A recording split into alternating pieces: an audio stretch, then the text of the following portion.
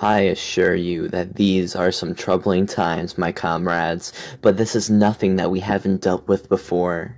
We've always been pushed back and forced to retreat, but not today. Today is a day of judgment, a day that we take back our glory. We will not lose the ones that we love, and the ones that love will not be lost.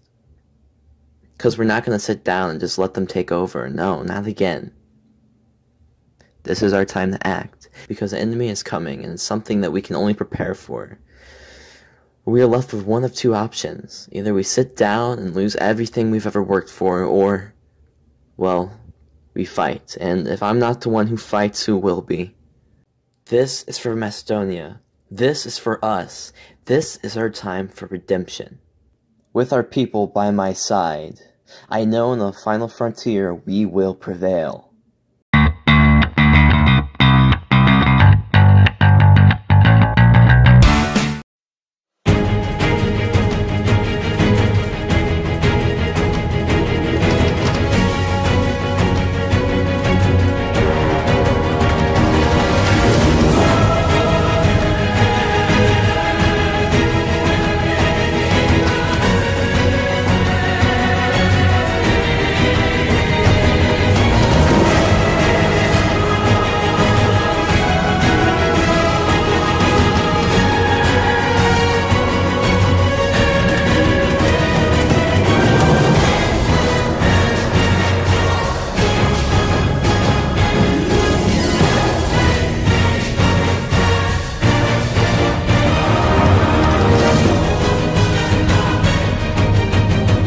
Ladies and gentlemen,